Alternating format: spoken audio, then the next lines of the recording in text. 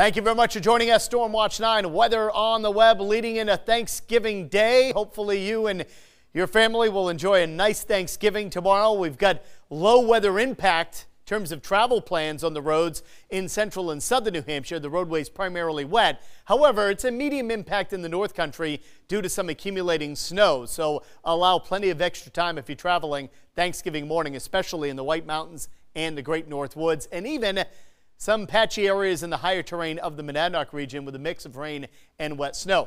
Very little, if any, impact due to weather for traveling Friday, Saturday, and most of Sunday. By late Sunday into Monday, that's when the next storm approaches with a wintry mix or snow likely. We'll have much more on that in the next couple of days. Latest system races on through. Here's a breakdown hour by hour tonight into Thanksgiving morning. The steadiest of the rain lifts away over southern and central New Hampshire, but it changes over to wet snow to the north, and we could see snow covered roads during the early part of Thanksgiving Day. Tomorrow morning, 7 8 a.m., a mix of rain and wet snow in southern New Hampshire.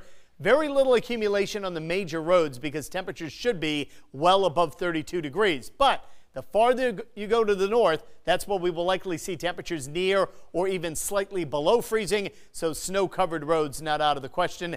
Increasing sun midday and afternoon, along with gusty winds, and then more sunshine, but chilly and windy during the day on Friday, and more sun with gusty winds during the day on Saturday, although the winds a bit lighter than they'll be tomorrow and on Friday. Speaking of those gusty winds, peak winds tomorrow 30 to 40 miles per hour may lead to a few isolated power outages. Shouldn't be any widespread issues whatsoever. Same story with the winds on uh, Friday, anywhere from 25 to about 35 miles per hour with a few isolated higher gusts. And then the winds still active on Saturday, generally 20 to 30 with a few isolated higher gusts.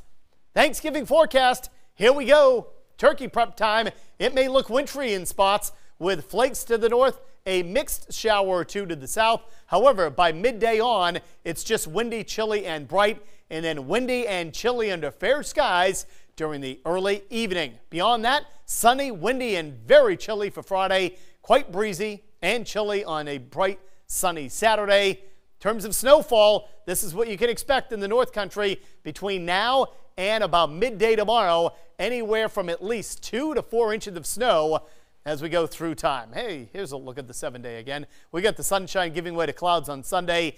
Rain and snow mixed with even a little bit of ice towards evening. And the greatest impact will be Sunday night into Monday. Certainly stay tuned to updates over the next couple of days.